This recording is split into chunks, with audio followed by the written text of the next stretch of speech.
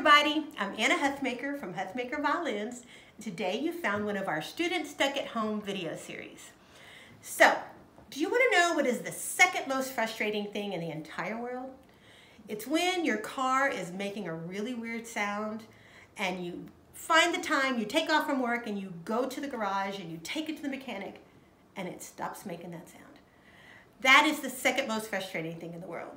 So you might be asking yourself, what is the first? The first is when your violin or your cello or your bass or your viola makes rattles and buzzes and you can't figure out what's wrong.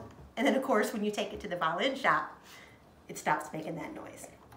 Today, we're gonna talk about all the things that could buzz and rattle on your instrument. There's a ton of things, and so we're gonna cover them because a lot of them you won't even need to go to the shop.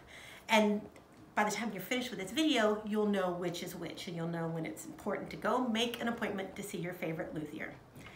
So the first thing, normally we're gonna start at the top of the instrument. On a cello or a violin or a viola, you have several things that can rattle up here in the top. And one of the first things is, does your peg have any decorative things on it? Does it have, we call this a collar, does it have a little ball on the end? A lot of times those will come loose. And if that does, they'll go bzz, bzz, bzz. Just when you're playing certain notes, it's very annoying. Also, the string ends. If you watched our earlier video on how to change your string, we talked about the fact that you take a metal string and you push it through the peg and then you start turning. Well, if that string is pushed too far in and if it's touching another string, when you play, this entire thing is vibrating and it can cause that to buzz and to rattle. It can be very obnoxious. Now, of course, if you're playing a string bass, your gears up here are metal. And if you, you hear something metallic up there, often you can kind of tap on it a little bit and see. Maybe one of the screws has come loose. You'll know it'll go if that's what the problem with the bass gear. Another thing that might buzz is if the winding on your string is coming loose. So often if that's the case, you'll actually feel it when you're playing on it because it'll move under your fingers. Sometimes you can see it. That means you need a new string and that's a buzz or a rattle. It's not going away, it's just gonna get worse. So go ahead and replace your string. Another thing that can also rattle on your instrument, and you're gonna find these, um, you won't find these normally on basses, but on violins, violas, and cellos, if you have a string protector. And a string protector, maybe often you'll see it on the E string, it's a little collar. Some instruments have it, some don't. If you don't have it, it's no big deal. But through changing strings, through tuning, it could have shifted and it could be rattling. So you wanna look at that.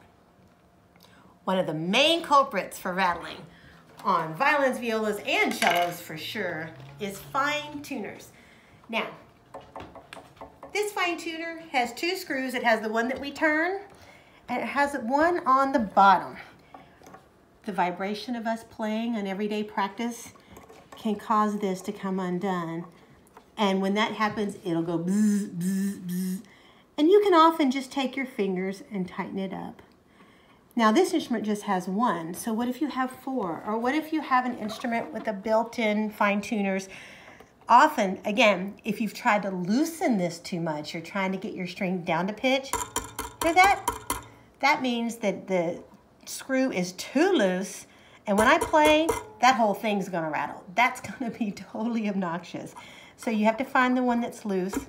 Ah, hear that? Much better. I just tightened up that one a little bit. Another thing, we talked about this in our chin rest video, if you saw that a couple of days ago. The barrels of a chin rest on a violin or viola could definitely rattle. Again, everything is always vibrating on this thing. So, and when it's vibrating, that means everything kind of comes unscrewed slowly but surely throughout the days. So check your tailpiece, I mean, sorry, check your chin rest. And again, a lot of times you can just kind of tap on them You'll hear if something's loose order to give you an indication that you can tighten yourself. Every now and then you will find that you'll get a little dust or varnish or something stuck in the little corners of your F holes. That can cause buzzing. And if that's the case, you can take like a piece of paper or a business card and um, try and stick it in there and see if you can knock it out. But you just want to handle that really carefully because you could scratch your F-hole. So that might be a time to go see your, your luthier. The things that you definitely have to come see us for, if you have open seams.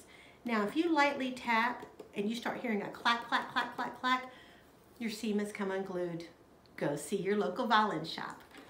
Sometimes the fingerboard will come unglued. Again, that you need to go see your violin shop. Don't let your daddy fix it. Don't let your uncle come in there with some Gorilla Glue or Super Glue and say, ah, he's got it covered. Take it to a professional. Um, if you play cello or bass, your end pin can rattle. You just want to make sure that's all metal down there, metal screw, metal rod. Make sure that everything is tightened up. There are other things inside your instrument that are way more serious that can rattle, but those are also way more rare. The things I've been talking about, fine tuners, end pins, chin rests, decorative pegs, these are usually your culprit. And if you can take care of those, then you can get back to practicing really, really hard. I hope that took a little bit of mystery out of the different things that can rattle on your instrument. If you have any questions, you can call me at Huthmaker Violins. I'm Anna Huthmaker from Huthmaker Violins. Now, go email your teacher and say thank you.